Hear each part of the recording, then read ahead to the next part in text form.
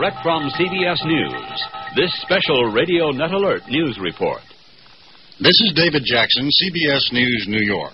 A major power blackout has hit New York City and surrounding communities. Mayor Abraham Beame has declared a public emergency. All off duty police and fire officials have been told to report to duty stations. The plug was pulled on just about everyone in the city proper and some areas of the suburbs to the north and east. A spokesman for Consolidated Edison, the power company, says lightning struck major feeder lines somewhere between New York and Niagara Falls.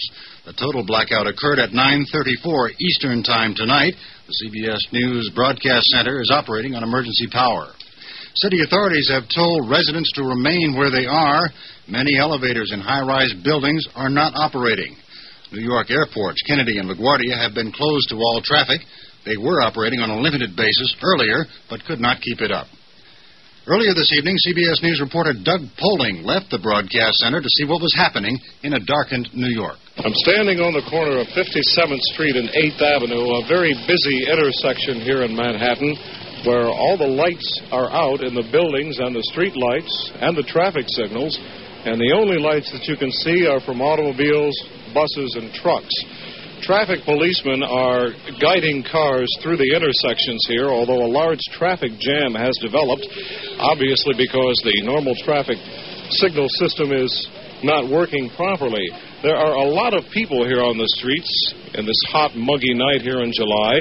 People just seem to be standing around looking, seeing what's happening. There goes an emergency vehicle of some kind with a red light on it, a van. There are quite a few emergency vehicles out here on the streets.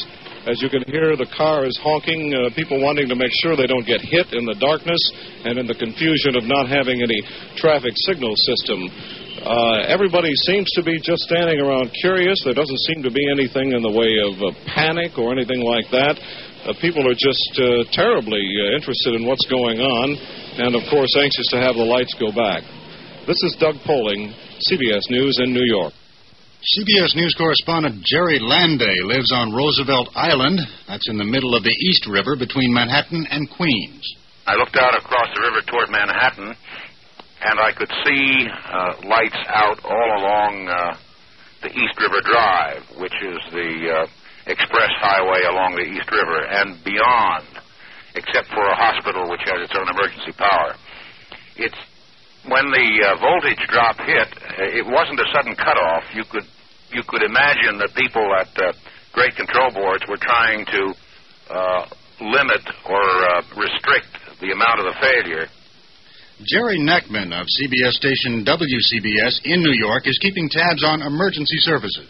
Insofar as police are concerned, there have been sporadic and light reports of looting that's not considered an urgent situation. Thus far, uh, most people have been behaving themselves during this emergency. The 4 to 12 tour, which goes off duty at midnight, of course, is being held over. All off duty police officers are being ordered to their nearest precinct, not the precinct uh, where they work, but the precinct of residence. Mayor Beame has declared an emergency, and he's called together his agency heads, including Acting Fire Commissioner Stephen Murphy, Traffic Commissioner Theodore Karaguzoff, and Robert Lowe, the Environmental Protection Administrator. As far as the ambulance service is concerned, their problems have been traffic. They advise people to stay home in order to allow the streets for emergency vehicles. They had some problems with delays.